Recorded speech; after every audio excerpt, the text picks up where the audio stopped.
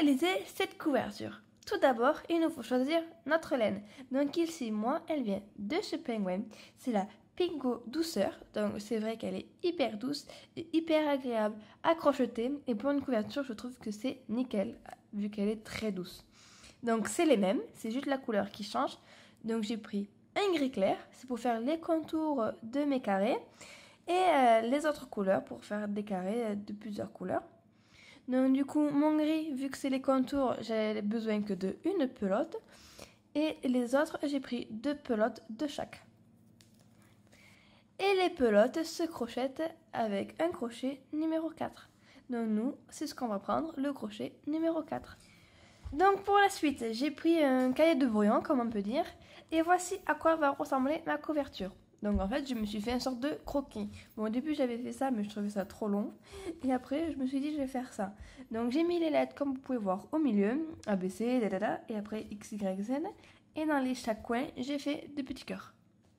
Ensuite, bon, j'ai coloré exprès euh, les cases pour savoir quelle couleur euh, je vais faire euh, les lettres. Et une fois que j'ai fait ceci, je suis allée de l'autre côté. J'ai marqué toutes mes lettres. Donc j'ai fait ça parce que c'est plus facile pour broder nos lettres, parce qu'il nous faut bien sûr nos points de repère pour savoir où mettre le point pouf, donc le point en relief. Donc ce que j'ai fait, je vais vous mettre le lien en barre d'infos. Je suis allée sur Google Images, j'ai cherché euh, les lettres alphabétiques à broder. Et du coup, ces lettres-là, que je vous mets bien sûr en lien en barre d'infos, je les ai répertoriées sur mon cahier. Pour bien sûr savoir à chaque fois où placer euh, mes points. Donc chaque petit carreau correspond à une maille. Que dans ce sens-là.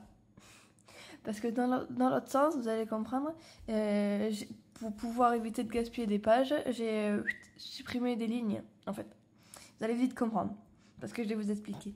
Donc du coup, j'ai fait toutes les lettres de l'alphabet, hein, à chaque fois on peut voir. Hein, ça. Bon, au début c'était vraiment un après je me suis appliquée. Donc voilà, E, F, G, H, I, J, KL. Et donc à chaque fois, euh, donc on voit très bien que j'ai fait des carrés pour mettre mes lettres. Parce que du coup, chaque lettre, elles, doivent, elles font la même taille pour que mes carrés soient réguliers. Donc elles font 19 mailles de largeur et 8 en hauteur. Donc voilà, on peut voir, voilà, j'ai fait toutes mes lettres. Et une fois que j'ai fait toutes mes lettres, ici j'ai fait le croquis de mon petit cœur. Donc ensemble, nous allons faire la lettre Z pour vous montrer le principe parce qu'après c'est pareil pour toutes les autres lettres. Euh, alors, ici nous allons faire la lettre Z ensemble parce que c'est la seule lettre que j'ai pas faite. Comme par hasard, j'ai commencé par l'ordre alphabétique. Euh, donc la grille que je vous ai mis en lien en barre d'infos, toutes mes lettres elles font la même taille. Ensuite, donc une fois que je les ai euh, euh sur mon, mon cahier, j'ai compté mes 19 mailles et je les centrées. Donc toutes mes lettres sont centrées. Et à chaque fois, ça dépend, ça dépend des lettres et de la largeur. Il y a soit 3 mailles de chaque côté, comme on peut voir sur la lettre Y. Donc vous voyez, il y a 3 mailles de chaque côté. Soit 4, euh, 5, à chaque fois elles sont régulières et elles sont toutes centrées.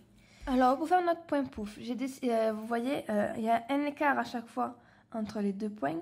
Mais ici au milieu, il y a un espace. C'est pour vous montrer qu'entre chaque point pouf, euh, entre chaque point en relief, on doit faire une maille serrée.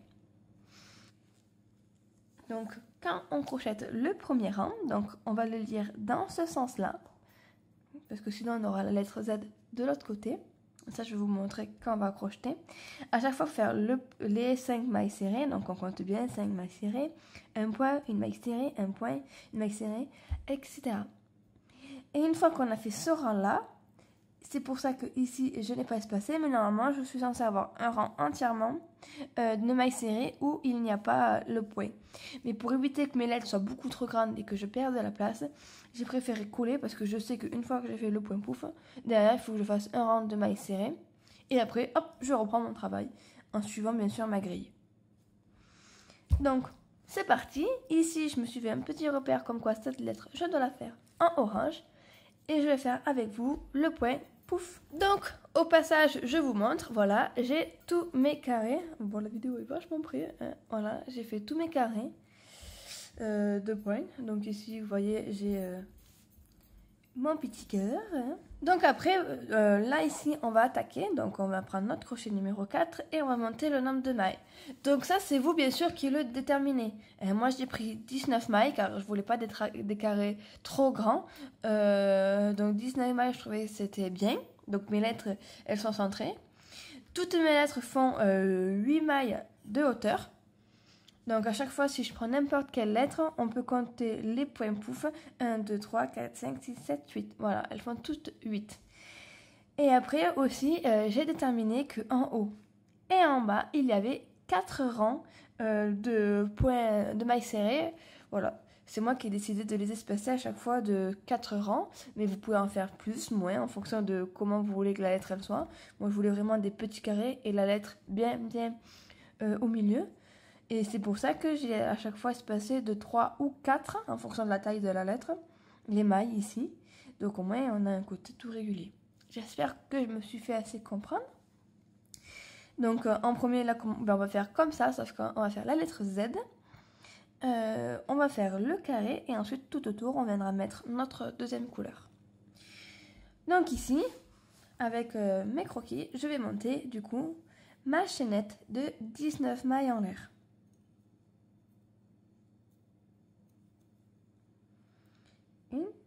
19. 3. Donc ici, j'ai ma chaînette de 19 mailles en l'air. Donc il me faut toujours 19 mailles. Pour en avoir 19, je fais quand même une maille supplémentaire. Voilà. Et ensuite, je viens crocheter dans la deuxième, donc dans la 19e. Et je viens faire mon rang en maille serrée. Et comme j'ai dit tout à l'heure, j'ai décidé d'en faire 4 pour bien centrer ma lettre. Donc ici, je fais mon premier rang en maille serrée et j'en ferai 3 autres pour avoir mes 4 rangs de maille serrée.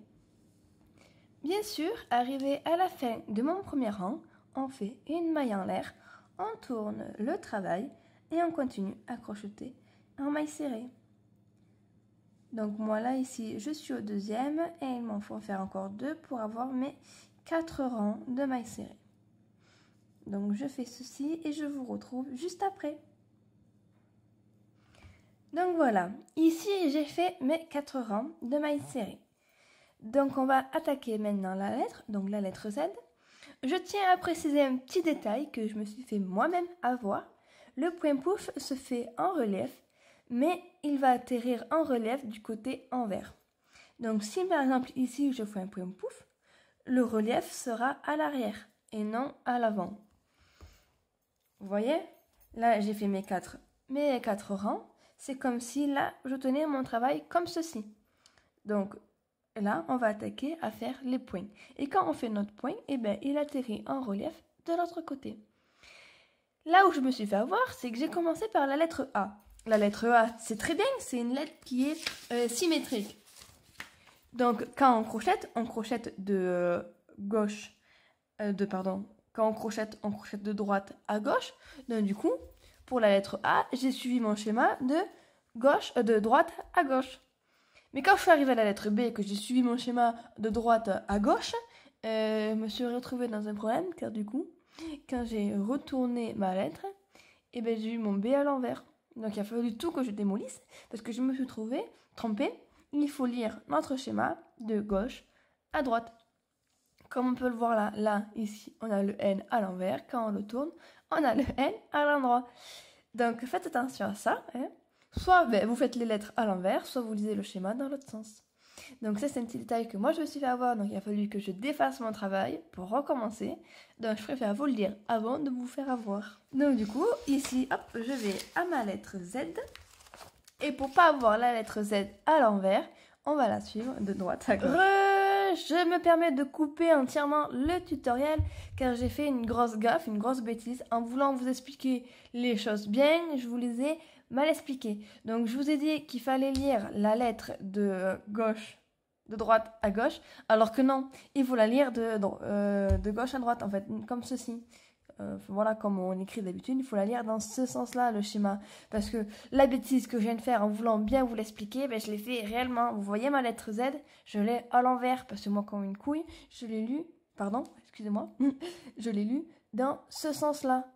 Donc non, il faut bien lire de gauche à droite notre schéma pour avoir notre lettre à l'endroit quand on retourne. Donc voilà, la bêtise à surtout pas faire. Hein. Donc je suis obligée de tout défaire pour commencer. Hein, voilà. Hein. Donc faites attention à ça. Ne suivez pas ce que je viens de dire maintenant. Lisez le schéma de gauche à droite. Et ensuite, ben, faites comme je viens d'expliquer, comme je vais expliquer. Là, je vais remettre la vidéo parce que là, c'est une coupure. Et ça change rien au point, sauf qu'il faut faire le point dans l'autre sens, lire le schéma bien de gauche à droite. Ne faites pas la bêtise. Allez, je vous laisse avec le tuto. Pendant ce temps-là, moi, ben, je recommence tout. À tout à l'heure. Donc ici, on voit bien que j'ai 5 euh, mailles serrées et ensuite 5 points pouf. Donc c'est parti. Donc ici, je fais mes 5 mailles serrées. Et le point pouf se réalise dans une maille.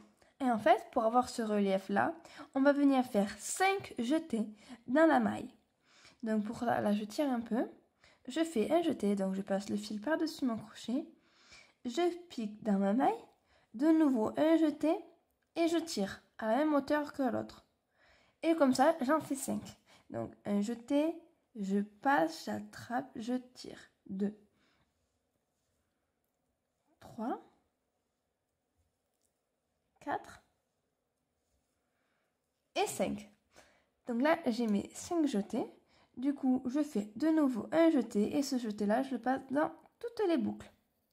Ensuite, je fais de nouveau un jeté et je fais une maille coulée pour fermer mon point. Et du coup, entre chaque point pouf, il nous faut bien sûr une maille serrée, sinon ça sera bien trop, trop serré. Donc ici, je fais maille maille serrée. Voilà. Et comme on peut le voir, ici, il me faut 5 points pouf. Donc, je vais les faire avec vous. Je continue. Donc, à chaque fois, mon jeté, je passe dans la maille. Un jeté, je tire. Un jeté, je passe dans la maille. Un jeté, je tire.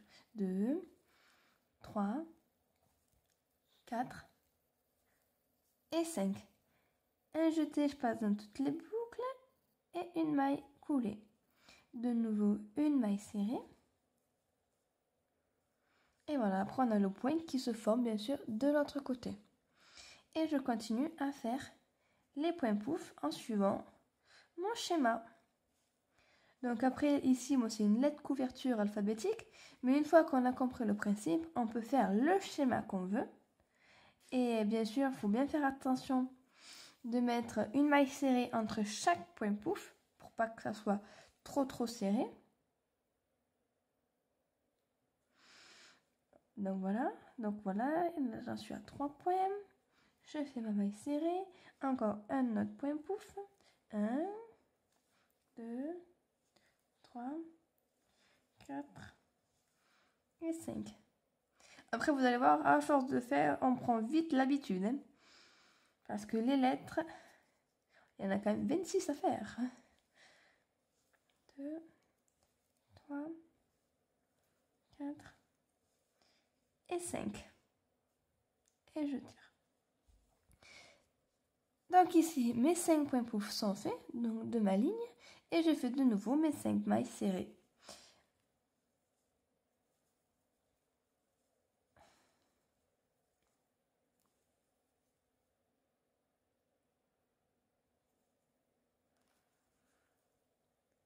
Ensuite, on fait une maille en l'air et on tourne le travail.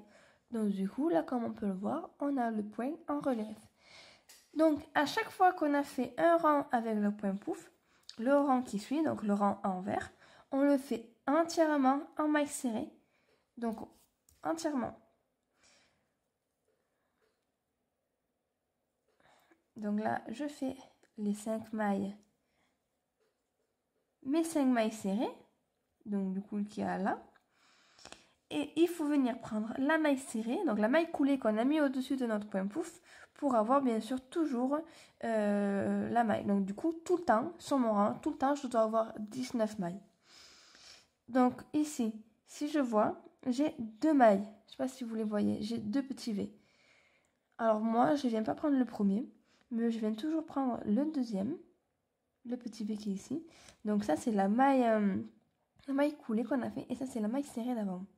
Donc je viens piquer ici, je fais une maille serrée Et après, je viens piquer dans la maille serrée au milieu. Donc si je tiens un peu mon travail, on le voit. Je viens piquer dans la maille serrée au milieu.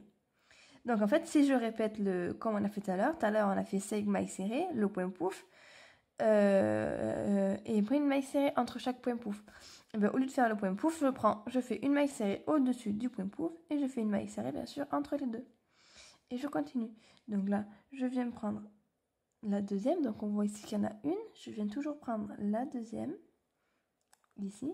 Je fais une maille serrée et une maille serrée entre les deux points pouf. Après, hop, toujours ma maille serrée et une maille serrée entre les deux points. J'arrive dessus, je prends la maille à côté et le maille entre les deux. Et la dernière, donc ici on voit bien, voilà, j'ai mes deux points. Je passe ici, je fais une maille serrée et ensuite je termine par les cinq mailles serrées qu'il y a entre chaque côté. Voilà. Une fois le rang terminé, on fait toujours une maille en l'air, on tourne le travail et je peux continuer à suivre mon schéma. Donc ici, je le fais avec vous encore une fois. Parce qu'après, ben, c'est que des répétitions et on fait que suivre notre schéma. Donc j'ai 5 mailles serrées et un point pouf. Donc 5 mailles serrées, un point pouf. Donc 1, 2, 3, 4, et 5. Donc je fais mon point pouf. Ensuite, on a 1, 2, 3, 4, 5, 6, 7. 7 mailles serrées. 1 et 7. Et du coup, un point pouf. 1, 2, 3, 4, 5. Une maille coulée, la maille serrée, la maille en l'air. Et de nouveau, les 5 mailles serrées. Donc vous voyez, c'est que de la répétition et après on fait que suivre notre schéma. Donc voilà, ici une maille en l'air, je peux tourner mon travail et je viens faire mon rang entièrement en maille serrée. Donc toujours là j'ai mes 5 mailles serrées. Ensuite le point pouf où on va venir bien sûr dessus faire une maille serrée. Donc pas celle-là, je prends celle-ci. Voilà, je fais ma maille serrée. À côté, donc tout à l'heure, on avait 7 mailles au milieu. Donc ici, j'en ai aussi 7. Et à chaque fois, n'hésitez pas, hein, si vous êtes débutante, à vérifier, hein, une fois que vous avez fait entièrement le rang en mailles serrées, euh, sans faire de point pouf, vérifiez que vous avez toujours vos 19 mailles, si vous en avez pris 19, ou le nombre de mailles que vous avez choisi. Hein. Donc vérifiez toujours que vous avez le bon nombre de mailles avant de continuer, parce que sinon ça veut dire que vous, soit vous en avez pris une de trop, soit vous en avez oublié une. Donc là, je ne l'ai même pas dit, mais voilà, j'ai fait ma maille serrée au-dessus du pouf. Et voici ce que ça donne. Et après, je continue. Une maille en l'air, je tourne et je continue à suivre mon schéma, toujours euh, dans ce sens-là, pour avoir euh, la lettre au bon endroit. Et ben là, une fois qu'on a fait une lettre, eh ben, je vais la, finir. Euh, et ben, il suffit de faire une maille en l'air, on arrête, on coupe, on termine notre travail. Et il faut faire chaque lettre, chaque carré. Donc de la couleur que vous souhaitez. Et une fois que vous avez fait toutes les lettres, euh, ben, on va passer à la couture. Donc moi, je vais vous montrer une fois que j'ai fait ma lettre Z.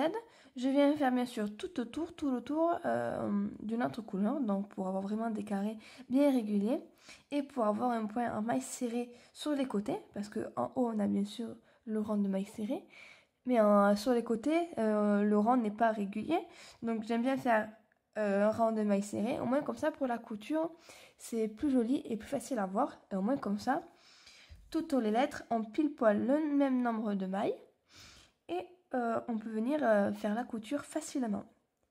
Et là, j'ai décidé de prendre une autre couleur pour faire euh, un peu plus stylé en fonction de Donc à vous de choisir les couleurs, les couleurs souhaitées. Donc voilà. Donc je vais terminer ma lettre Z. Ensuite, on fera la bordure et on terminera par la couture. Donc je fais ceci et on se retrouve juste après. Donc voilà, comme vous pouvez le voir, après le coupage de vidéo, j'ai terminé ma lettre Z. Donc bien sûr, une fois que j'ai fini le rang de point de pouf, j'ai fait 4 rangs de mailles cirées comme euh, en bas. Et ensuite une maille en l'air et j'ai coupé le fil. Donc ma lettre Z est terminée. Et une fois qu'on a fait toutes les lettres, donc j'ai fait toutes les lettres de l'alphabet, voici ce qui me reste à, chaque fois euh, entre chaque fin de pelote. Donc là j'ai fait euh, j'ai tout terminé. Il me reste ça euh, de chaque pelote. Donc sur chaque lettre maintenant, moi j'ai fait la petite bordure, hein, parce que ici on voit bien que les rangs, voilà, ça fait ceci. Donc j'ai fait tout le tour en maille serrée. Donc c'est très facile pour faire tout le tour en maille serrée. Il suffit de piquer dans chacune des mailles faire une maille serrée. Ici, dans la dernière, on va faire trois mailles serrées. Après, on va piquer dans chaque rang. Donc à chaque fois qu'il y a un trou, on pique dedans. Donc dans chaque rang, une maille serrée. Et on fait tout le tour comme ceci. Donc je vous montre. Donc ici, je viens piquer, pas dans la deuxième, pas dans la première, pardon, qui est ici, dans la maille. Je la laisserai après pour terminer, ça sera mieux. On vient dans la deuxième, qui est ici. Donc je pique mon crochet. Je prends mon fil de couleur, donc moi ici c'est le gris, mon autre fil, que je passe dans mon crochet en formant une petite boucle. Je passe à travers la maille.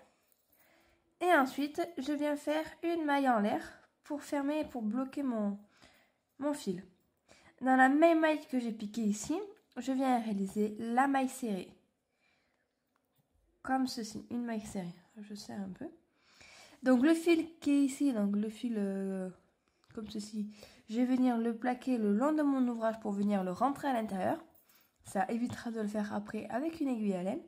Et ensuite, dans chacune des mailles, je viens réaliser ma maille serrée. Donc voilà, un maille serrée, tout le tour. Je pique dans chacune des mailles. Donc ici, j'ai commencé en haut de la lettre, bien sûr. Hein.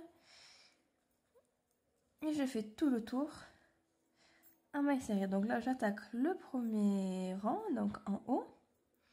On va s'arrêter à une maille de la fin, donc du bord. Voilà. Donc là, le fil que je viens de rentrer, vous voyez, euh, donc comme il y a des endroits où il s'est mal mis, je vais venir le tirer un petit peu, voilà. Je, détends un peu mon ouvrage et ce fil-là, je le coupe. Moins comme ça, il est rentré, on ne le voit plus. Et ça évite de le faire du coup à la main avec une aiguille à laine. Ensuite, donc j'arrive ici, il me reste une dernière maille du rang à piquer. Et dans cette dernière maille, pour tourner, on va venir faire trois mailles serrées à l'intérieur. Donc une, deux et trois. Et maintenant, on descend et on vient piquer dans chaque rang. Donc si je tire mes rangs, vous voyez, là je les étire, on voit bien un petit trou, je pique dans ce trou là et je fais une maille serrée. Donc dans chaque rang, voilà, je viens réaliser mes mailles serrées. Et pareil, au coin en bas, donc dans la dernière maille, donc là ce sera le dernier rang, on viendra faire trois mailles serrées à l'intérieur pour pouvoir tourner. Et ainsi de suite une fois qu'on a fait tout le tour. Donc je vous remontre le coin en bas et ensuite ce sera pareil pour les deux autres coins qui restent. Parce que comme c'est un carré, et eh ben, il y a quatre coins. Donc là, vous voyez, je continue en maille serrée. Donc je vais vite parce que c'est que des mailles serrées qu'on pique dans les rangs. Hein. Je pense que ça, ça va pour, pour les débutantes. Vous voyez, là, il y a un trou. le rang, je pique et je fais une maille serrée. Comme le maille serré, c'est le point de base, euh, voilà. Donc j'arrive à la fin. Ici, il me reste encore un rang. Voilà.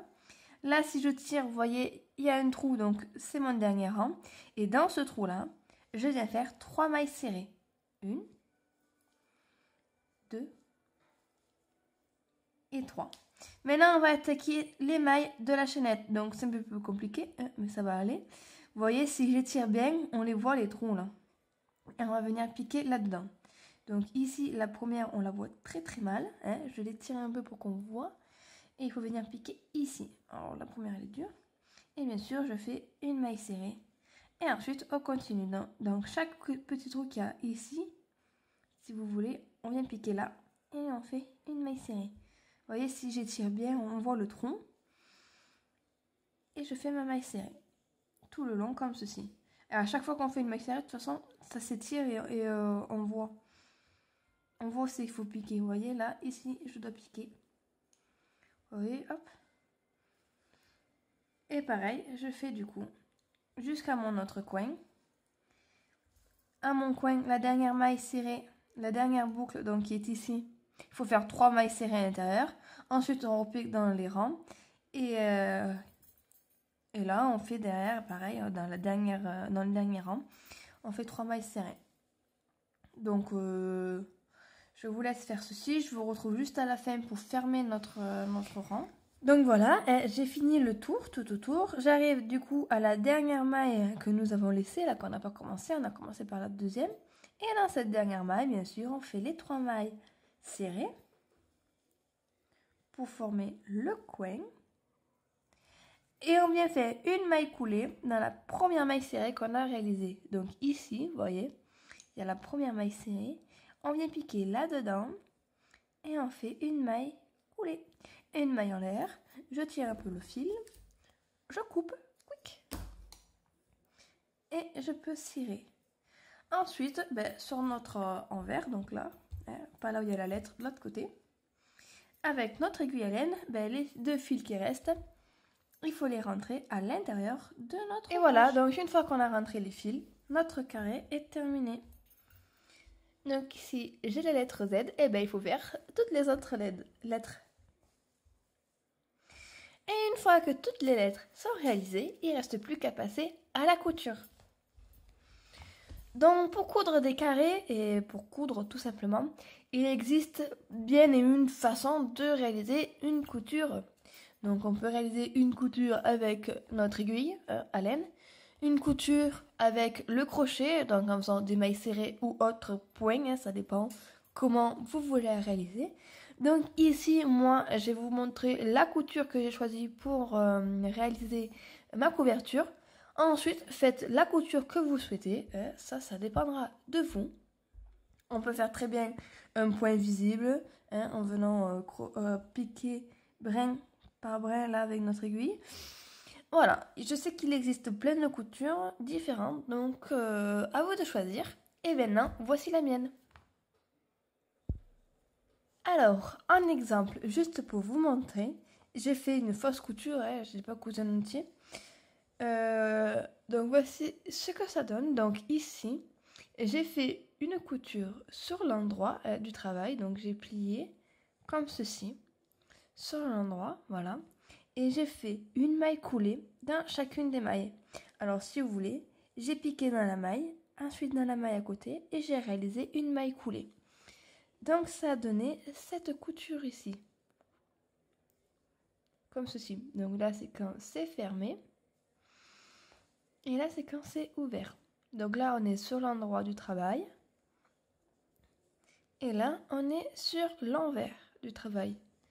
Donc ça, c'est une première couture que j'aime bien réaliser. Donc je voulais vous la montrer. Et je vais vous la montrer comme on l'a fait au crochet. Et là, la deuxième, donc moi je vais faire celle-ci. Comme ceci. Donc voilà ce que ça donnera quand ça sera ouvert. Donc là on est sur l'endroit. Et là on se trouve sur l'envers. Et donc celle-là, c'est le même principe que l'autre, mais au lieu de piquer dans la maille entièrement, on va piquer juste dans le brin arrière.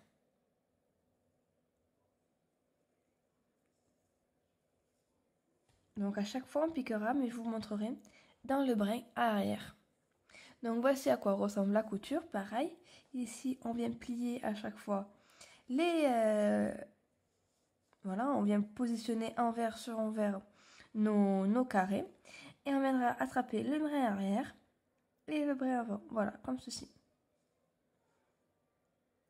Pour réaliser cette couture.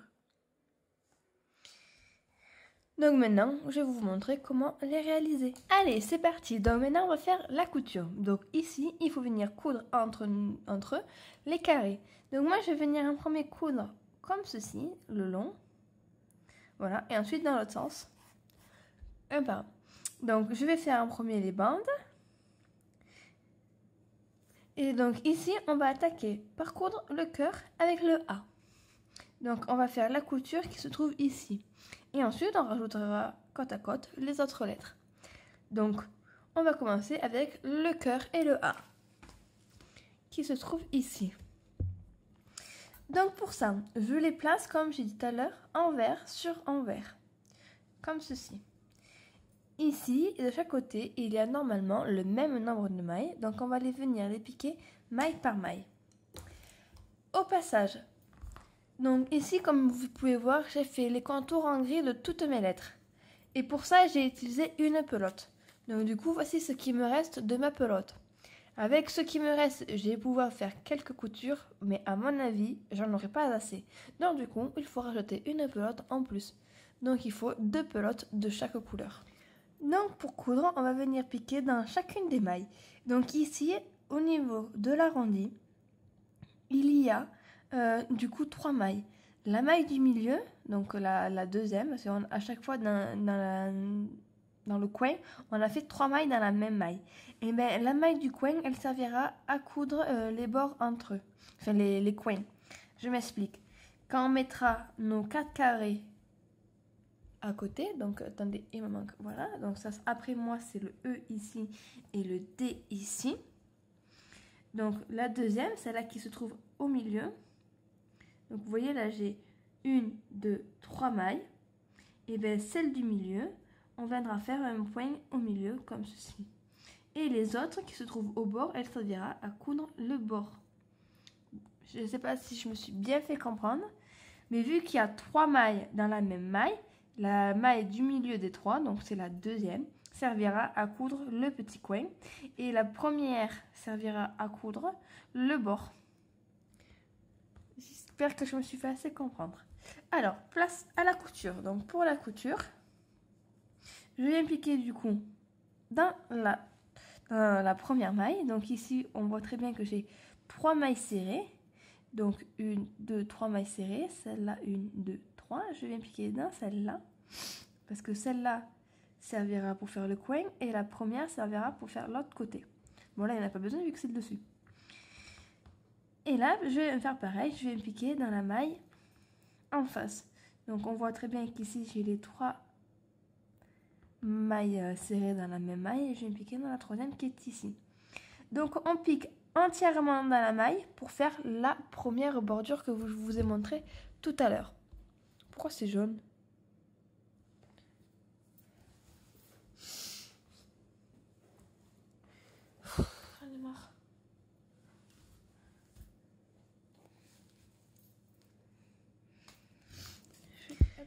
Donc pour la couture, on vient placer les carrés choisis en fonction bien sûr euh, du patron qu'on a fait. Donc moi c'est le cœur et le A.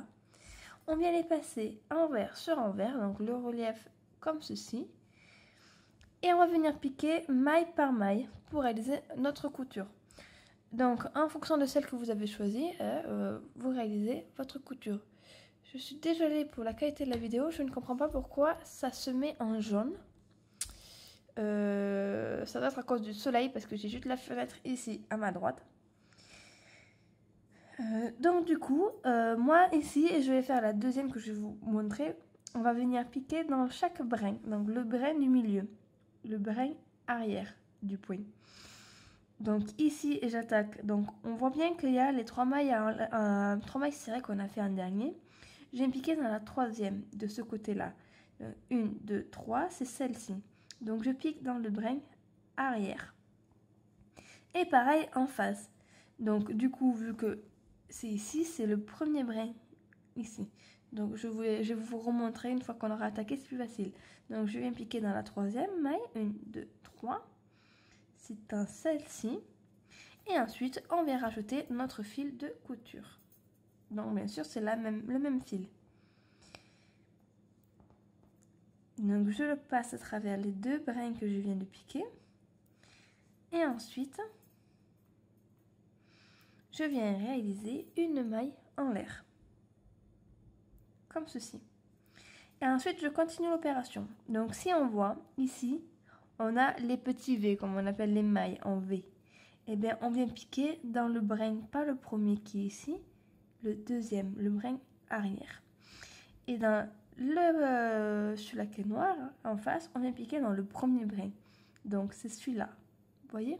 Dans ce brin-ci. Ensuite, on attrape le fil, on passe à travers les deux brins et à travers la boucle. Et on vient de réaliser une maille en l'air. Voilà, une maille coulée. Et je continue. Donc là, on voit bien le brin je pique dans juste le brin arrière et en face, je viens piquer dans le premier brin. Donc vous voyez, je passe pas entièrement dans la maille comme ceci, hein, je passe pas entièrement, je viens piquer juste dans le brin. Ensuite, j'attrape mon fil, je passe à travers les deux brins. Quand je fais doucement, je perds la tension de mon fil. Et ensuite, je passe à travers la boucle. Donc je fais juste une maille coulée, je fais pas une maille serrée. Et je continue un brin et un deuxième brin. Voilà. Et je fais comme ceci. Et on fait ça maille par maille. Alors j'espère que vous avez bien vu. Je vous remontre sans que je tienne le fil, sinon on voit pas. Donc là, j'ai le petit V. Vous voyez, le petit V de ma maille. Je pique dans ce brin-là, le brin arrière. Et là, j'ai le deuxième V. Je pique dans le premier brin. Ensuite, je récupère la tension, je prends un jeté, je passe à travers les deux brins et à travers ma boucle. Voilà. Et ensuite, ben voilà, on répète l'opération tout le long, tout le long de notre carré pour réaliser cette couture. Donc ici, j'arrive au bout, donc à la fin. Donc voici ma couture que j'ai réalisée comme ceci. J'arrive au bout, donc ici on voit bien qu'il y a mes trois mailles serrées que j'ai fait dans la même maille. Donc ici il me reste encore... Ah ben non, je l'ai faite, voilà, je, je l'ai faite. Donc j'ai fait la dernière maille, je l'ai je l'ai cousue. Et dans, dans une des trois mailles, donc là où, il y a là où on a fait les trois mailles serrées, en fait, dans la même maille, il faut faire juste la première maille. Donc, vu qu'il y en a trois dans la même maille, on fait juste la première qu'on coud, comme ceci. On fait juste la première. Et ensuite, on attaque avec un autre carré, avec les deux autres carrés. Donc là, je viens de faire du coup le cœur et le A. Je continue. Donc ici, il me faut rajouter le D et le E. Donc le E, il vient ici. Le D, il vient ici. Je viens du coup les plier également en deux, comme ceci. Le, cela, pareil, je le laisse plier. Je récupère le travail et on vient dans la maille à côté du coup du Donc du coup, là j'ai mes trois mailles serrées, je pique dans ce brin là, dans le brin. Alors une, deux, trois, c'est celle-ci, c'est ce brin là. Je ne sais pas si vous voyez à peu près ce que je fais avec mes gros doigts. Donc c'est le brin ici, donc c'est le troisième. Voilà. Et je viens passer mon fil. Comme ceci. Et ensuite, ben, on continue. Ah ben non, j'ai pas pris le bon brin. J'ai pris le brin avant au lieu de prendre le brin arrière. Désolée, donc je recommence. Donc là, il y a mes 1, 2, 3 mailles, c'est le brin arrière. Et là, j'avais pris le bon brin. en voulant expliquer, je fais les trucs de travers. Désolée. Et ensuite, ben voilà, je fais ma maille, ma maille coulée. Et je continue le brin arrière, comme tout à l'heure, et on continue à faire la couture comme tout à l'heure.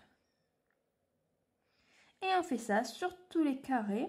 Donc là, moi, je vais commencer par euh, la verticale. Ensuite, l'horizontale. Et il faut coudre tous les côtés de chaque carré. Donc voilà à quoi ressemble la couture. Donc c'est une couture assez jolie, régulière, envers comme endroit. Moi, j'aime bien faire celle-là. Et maintenant, il suffit de coudre tous les carrés entre eux. Donc, comme vous l'avez fait. Hein. Bon, après, il suffit de lire les lettres de l'alphabet. Hein, c'est assez facile. Et une fois que la couverture est cousue, on peut rajouter quelques finitions. Donc je vous laisse quand même faire en premier la couture et on se retrouve juste après. Et voilà, la couverture est désormais terminée. Donc j'ai fait ma couture. Voici à quoi elle ressemble en grand. Donc la mienne, elle fait 52 cm sur 64. Donc j'ai fait toutes les coutures des carrés, un par un. Et au passage, tout le tour, donc tout le tour de la couverture, une fois que les carrés étaient cousus, j'ai fait deux rangs de mailles serrées. Comme on peut le voir ici. Voilà. Donc c'est pour apporter en plus une petite finition. Au passage, j'ai rentré tous les fils. Et voilà. Donc j'espère que cette vidéo vous a plu, j'espère que la couverture aussi vous plaît. Donc euh, à vous de la réaliser ben, en plusieurs couleurs ou comme vous souhaitez. Vous n'êtes pas obligé de faire des lettres, c'est voilà, avec ce point là, avec le croquis, on peut faire ce qu'on veut, il suffit de dessiner et de réaliser les points là où on le souhaite. Donc moi j'ai choisi l'alphabétique, mais on peut faire ce qu'on veut. Donc c'est une petite couverture ici que j'ai réalisée, c'est plutôt pour les euh, nouveau-nés, mais après on peut les faire euh, de la taille qu'on veut, en fonction du nombre de carrés. Et au plus on prend de mailles, au plus nos carrés sont grands, et donc du coup, au plus la couverture sera grande. Donc j'espère que ce tutoriel vous a plu, et j'espère que j'ai été compréhensible dans mes explications. Sur ce, je vous fais de gros bisous, et on se retrouve une prochaine fois pour un prochain tutoriel. Bye bye